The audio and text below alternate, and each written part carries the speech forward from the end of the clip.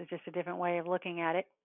What we're concentrating on now is tasks and subtasks and sub subtasks.